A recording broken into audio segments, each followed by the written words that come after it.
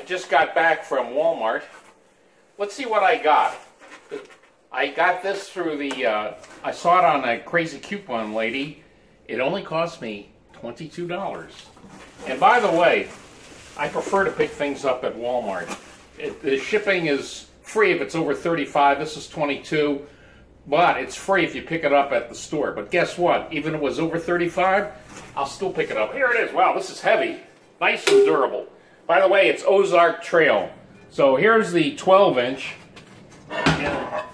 Here's the 8, still kind of heavy, and a 10 inch. Now the reason why I got these, well besides the price, I mean can you beat that? Is I'm sick and tired of constantly, every few months, getting a new Teflon pan. Uh, reason I've avoided cast iron pans because to me, in my mind, I don't know why I'm thinking it as 19th century technology. However, if you season it properly, it, you can make it non-stick. Now, it, this thing here says it's already pre-seasoned. Uh-uh. You got to season it yourself. So I'm going to season it. Probably I'm going to season it four times over tonight, and tomorrow morning I'm going to test it out with a couple of eggs and see how it go goes. But this this is like a lifetime thing. You just keep it, in, you know, take care of it, and it'll take care of you. Because I really don't want.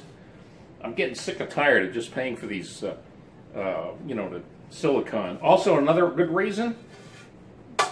Cast iron holds the heat a lot better. It's much, much better for heavy duty frying, like for fried chicken.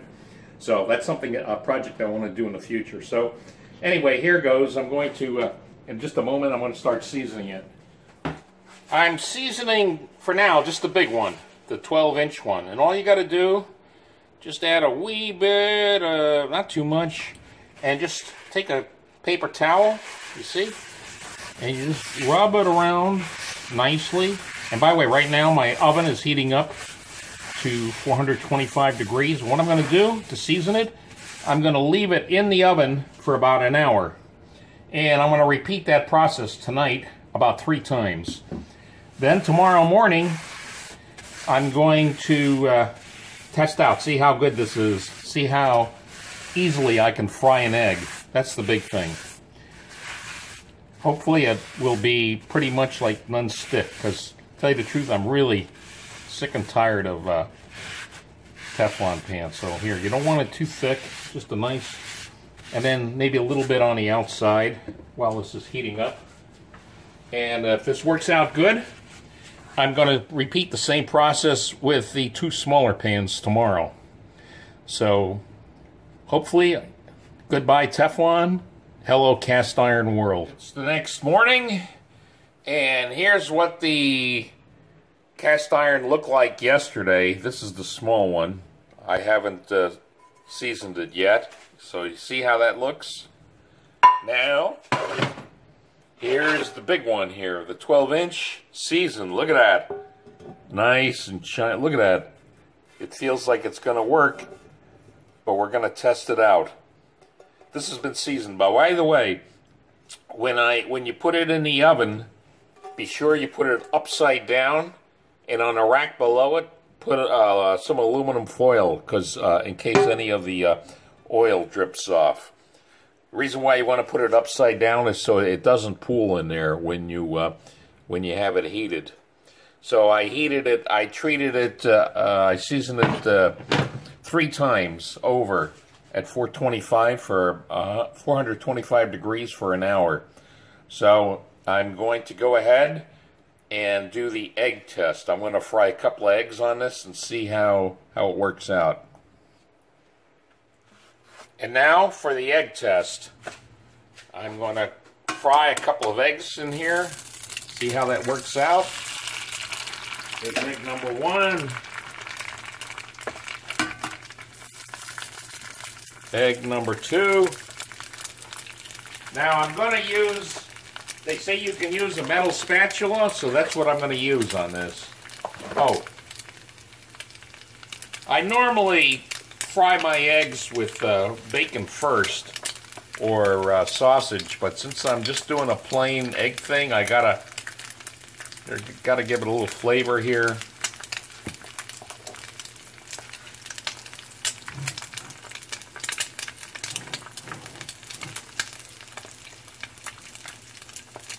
Add some Louisiana hot sauce.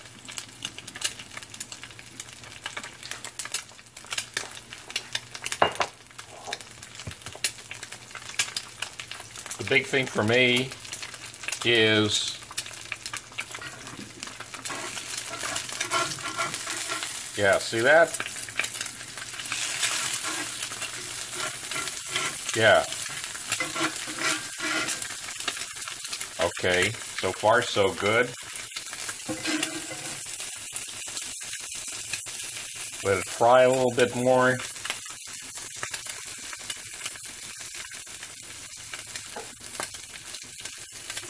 You know, the main thing is, I don't want that, that egg.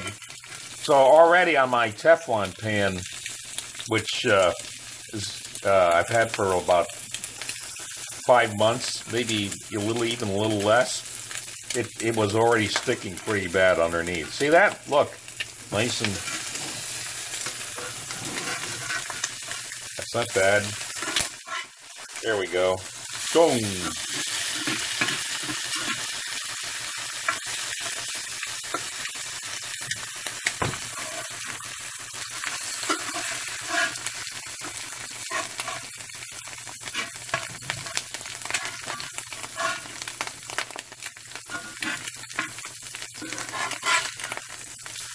Yeah, see?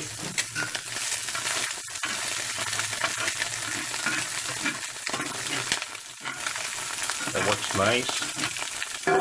Now the big moment of truth. Let's see how easily this cleans. I'm just going to use water.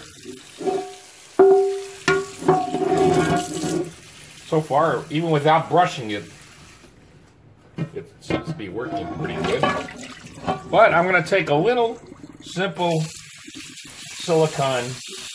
That's all this is, just a silicone uh, pad here. It's for uh, non-stick actually.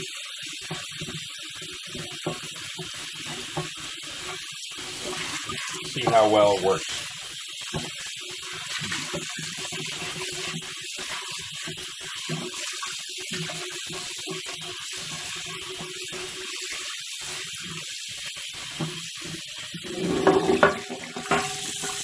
And that's it.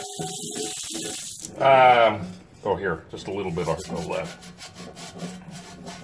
There we go. Yeah, that, that worked out good. And then you want to, uh, you want to dry it completely. You don't want to leave, you don't want to leave uh, water sitting in this. So after you clean it, immediately dry it. And that's it. So this worked out good.